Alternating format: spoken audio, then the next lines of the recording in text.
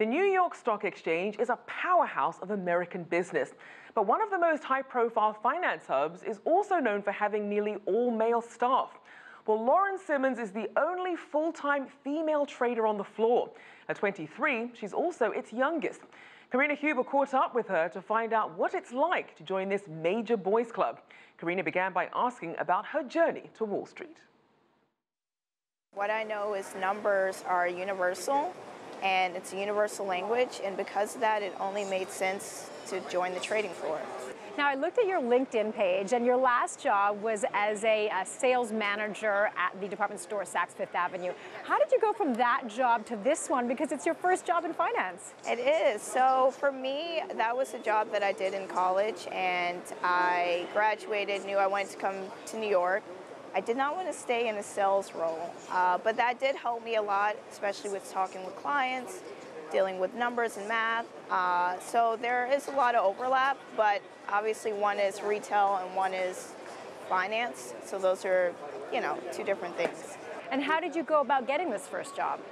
Through networking, I reached out to a couple people that were in New York that were alumni from my college and I had applied for a job that was told no to, but they said, We do have another opportunity, one being on the trading floor. Would that be of interest to you? And they brought me down, I interviewed, and it's been a whirlwind ever since. what is it that you like best about your job? I like the fact that it is fast, it is challenging. Every day I come into work, it's something new. Every it's not the same thing, routine every single day. And um, the community that's down here, everyone is very close that's down here, and it's a really healthy work environment. You say it's a very healthy work environment, but I know that historically, Wall Street hasn't been known to be an old boys club. Yes. A lot of bro talk on the floor, and I remember one person describing it as sort of like when you're a woman on the floor, sort of like being a gazelle in the savannah surrounded by lions yes. circling you. And I experienced that in the past. Is that culture the same way today? You know, when I first came down here, I would say anybody that's a female that's new, everyone, you know, is curious about. Um, but as the year has gone on, I would say that everyone here is, you know, they're like a big brother. They want to see you. They want to see you do good, and they treat you as such. We, you know, treat each other with respect. They have the utmost respect for me and vice versa. And they're really pushing me to grow into, you know, a big financial person, uh, if it's not just on the floor, but just within the industry in general. Nevertheless, the numbers are still very small. Only 10% of traders are female, and for African American women, the numbers are even lower. Why do you think it is so low?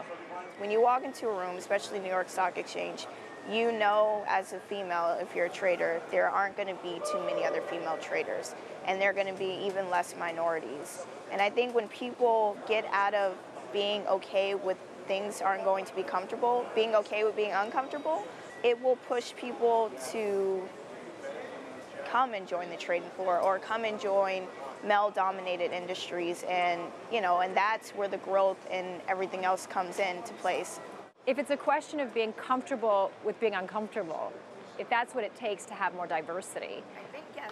How is that going to happen? Is it about role models? It's about role models. It's about being okay that your mentor isn't going to look like you and that the growth is going to come from yourself. Being okay to knowing that no one's going to look like you and just going in front of people and, and just pushing yourself to a bigger standard, which is one of the reasons why I came down here. I kind of got out of my mind. I was qualified, they liked me, and I knew that I myself just needed to do the job. I had all the qualifications, I just needed to do the job. And I give that same advice to any young person that wants to come into the field. Do you think Me Too is having an impact? You know, we have had open conversations down here on the floor with Me Too. And I can honestly say the men down here, they have daughters, they have wives, they themselves were taken aback by what was going on and what has been going on. So if you heard someone saying something inappropriate, yeah. because in the past women felt they couldn't really say anything because they wanted to be accepted and promoted within the industry, mm-hmm. how would you respond? We are very open down here. So if there is something that is inappropriate or you take a second look at, we will I will call you out on it. Other people will call you out on it. It's an open conversation. There are a lot of apologies. I'm sorry, I didn't mean to offend you. Um, so it's it's no hiding away from if something makes you uncomfortable. It's just having that direct conversation and moving forward. You were the second African American woman to sign the book that contains the Constitution for the New York Stock Exchange. How big of a moment was that for you? It was a huge moment. I think it was a bigger moment that I got to be able to sign the book and my mom was there. She's from Georgia. I mean, my entire family, but especially my mom. Um, it was a lot of pictures. It was, you know, a moment that's a moment. I know people say that it's a historical moment, but when you're in that moment, it's not necessarily historical. It's just a proud achievement that I'll be, be able to always have. I suspect that you will want more than just being a trader. Yes.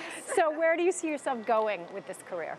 Uh, probably a couple more years down here and then going into wealth management. That's where I see myself going into. Is that where the money is? Yeah.